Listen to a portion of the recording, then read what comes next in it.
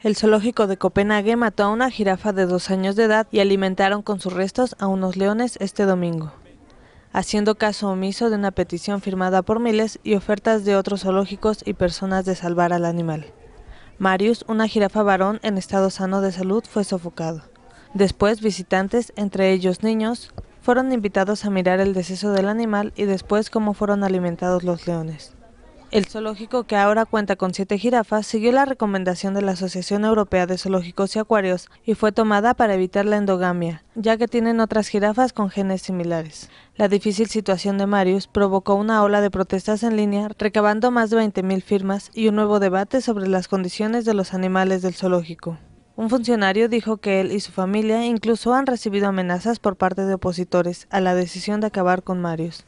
Univisionnoticias.com